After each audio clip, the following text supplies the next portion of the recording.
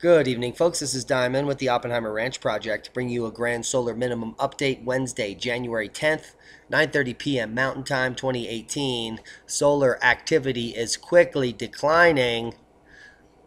Southern California mudslide, 17 dead, others missing. This is in the aftermath of uh, yesterday's report, and it was ongoing today. Rivers of mud and debris ran through parts of Southern California after heavy rainfall. People are have been devastated, communities devastated. Emergency personnel work to save people trapped in the mud. Here you see live coverage. The founder of the Catholic school is among the dead. Hundreds of rescuers and dogs continue to search for people Wednesday, slogging through mud and debris.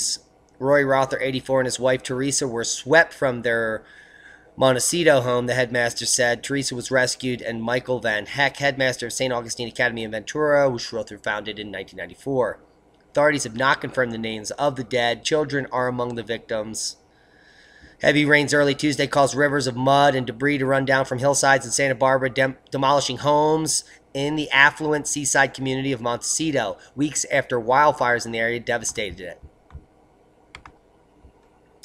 Snow and bitter wind could descend on North Dakota. Snow and wind, bitter cold are descending on North Dakota. Northeastern North Dakota is under blizzard warnings, and the rest of the state is under a weather storm warning and an or advisory. Good news for you in Michigan. Big snow will miss you, but bad news, bitter cold returns. Grand solar minimum much.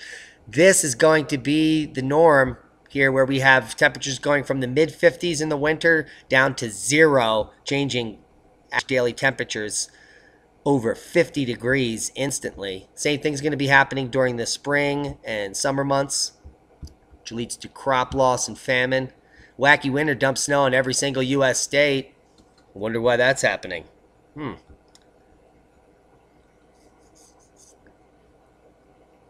Hmm. Guys, did you know all 2009 was one of the biggest snow seasons in the country? Check out where that is on the graph. We'll be talking about it.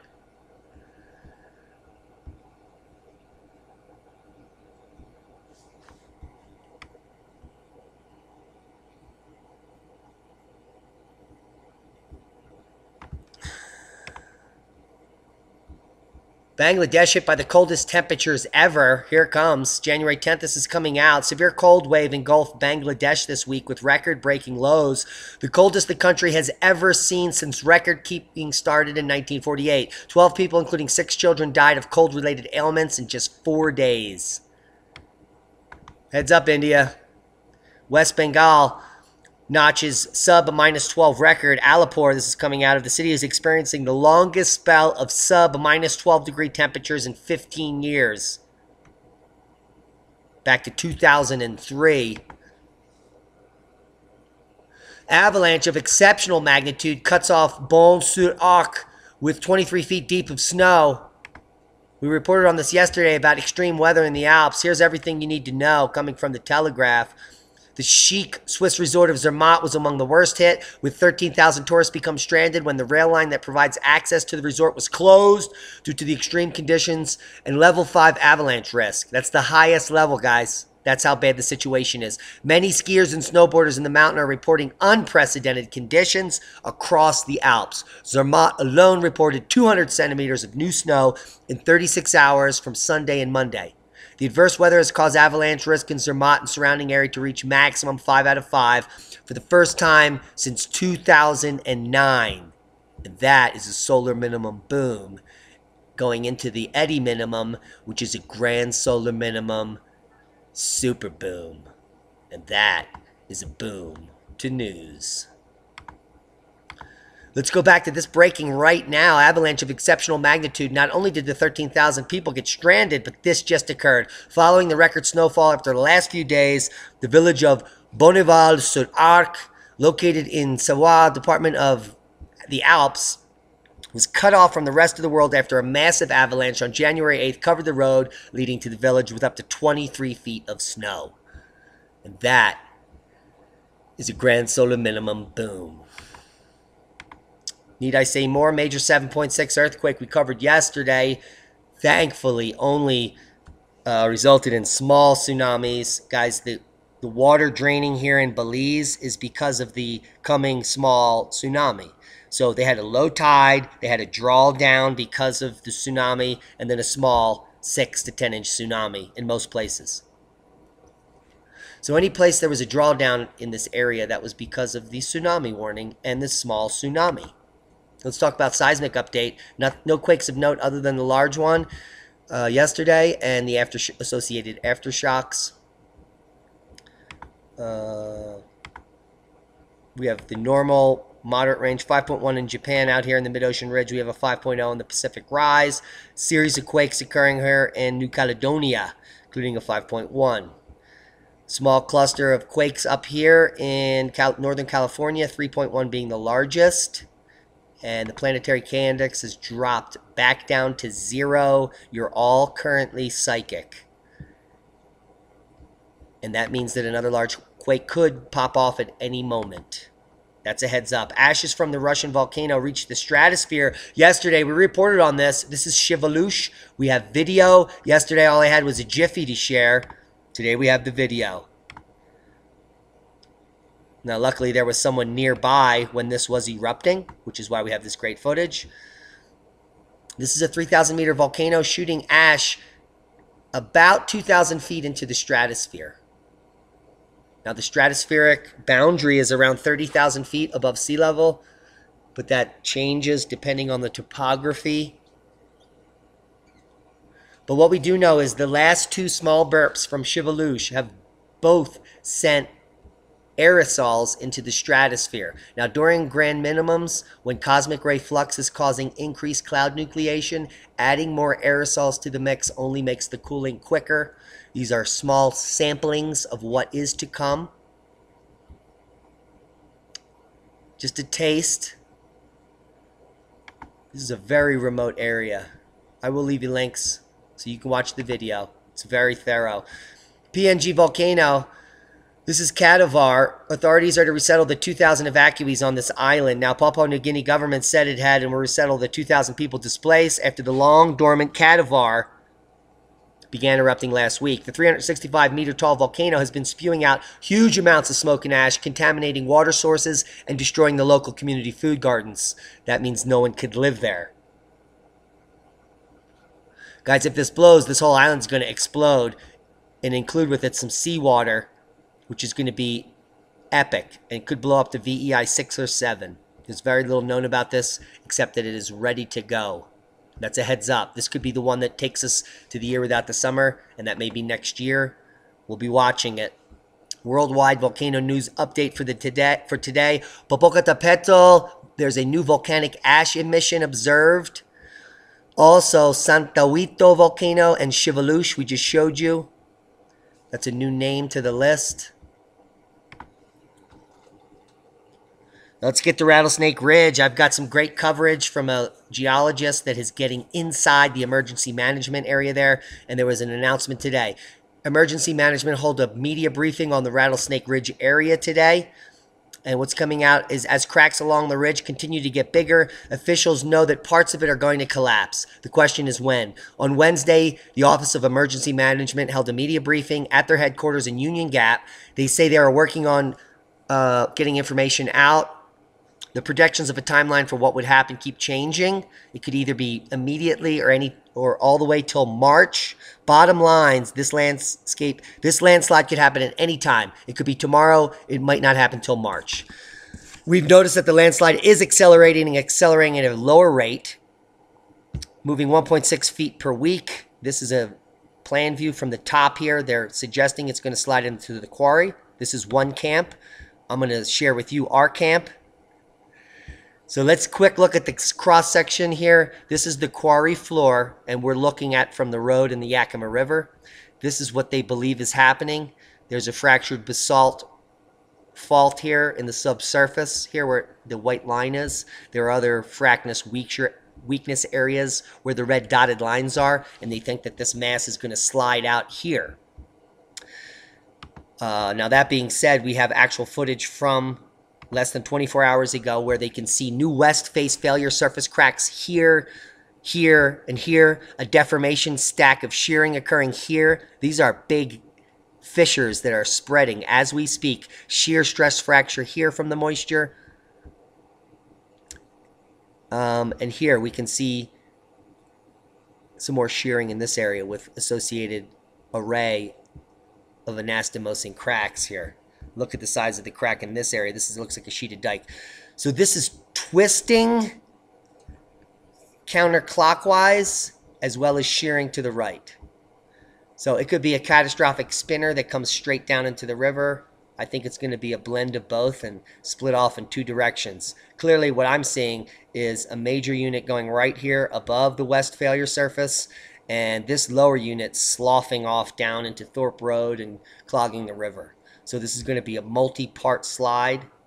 The upper right portion will go into the quarry and I believe that this lower block will slide right off into Thorpe Road. That's my assessment, which brings two camps together in one prediction. So both people will be happy, but no one will be happy when it slides. Now, coming off the Australian today, we have some good news for the informed Australians. Weather station sites compromise climate data. Excellent reporting here. Uh, I want to leave this. You should all read this. This will bring this brings a little shimmer of hope, where they are exposing the lies at the Bureau of Meteorology. Graham Lloyd is right to say it's hard to maintain perspective on climate change when they're changing the weather stations to warmer areas. No weather station sites have stayed the same, head of climate monitoring.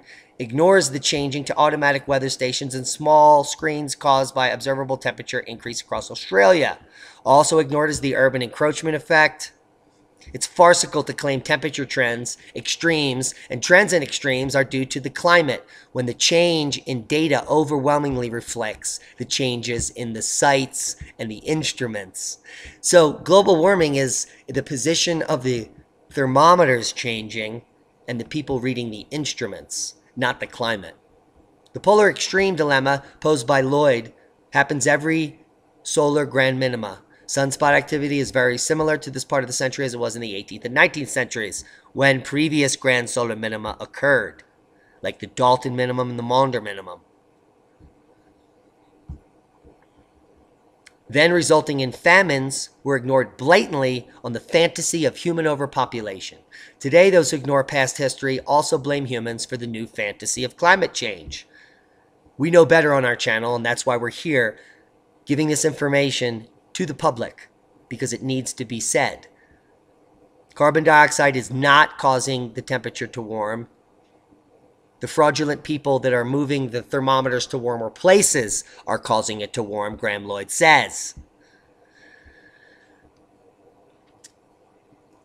Australia has no politicians or business leaders with the guts to call the climate change hysteria for the rubbish that it is. Having saddled the people with stupid policies on renewable energy and sent the country to the wall. They now think it's a good idea to participate in a scam where people will make money buying and selling credits for a harmless trace gas that is essential to all life on the planet and thereby impoverish us further. and that is the, the truth. Guys, you want the truth? You're from the UK? You guys need to check out the Starman. He has excellent grand solar minimum forecasting. He knows his plasma physics. He knows about the sun. He knows about solar cycles. He knows about the coming ice age Ro- Rolf Wishy. He's very hard to pronounce. But I want you to come over here and subscribe to his channel. He needs to have a thousand subscribers by the end of the week. So let's get him up to 500 tonight. I'll leave you links in the description box. Click where it says show more under Oppenheimer Ranch and then subscribe to The Starman please. And if you're from the UK, this is your number one weather resource. Um, he follows Piers Corbyn. He knows how to watch the sun. This guy is on point. His name is real name is David Birch. I hope he doesn't tell me that. You can find him on Twitter. He's all over the place.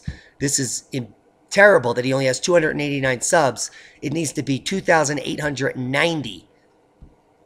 This man is this channel is filled with the truth, and I think you should all come over and subscribe to his page and give him some support. Watch some of his work. He's been spending a lot of time on this. I'd really appreciate that, and that would be a big boom to news, real news, coming from the Starman. Guys, if you haven't, don't know now, solar activity is dec declining. This is current. The next two cycles predicted, according to Zharkova and the heartbeat of the sun, are going to be cycle 25, 26, 27, respectively, all lower than any amplitude during the Dalton and Maunder minimum.